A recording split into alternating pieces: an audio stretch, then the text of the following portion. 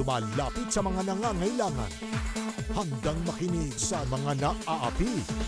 Umaaksyon kapag hiningi ng pagkakataon. Marami yung natuwa sa pagbuburger sa GMA. Serbisyong totoo mula sa investigador.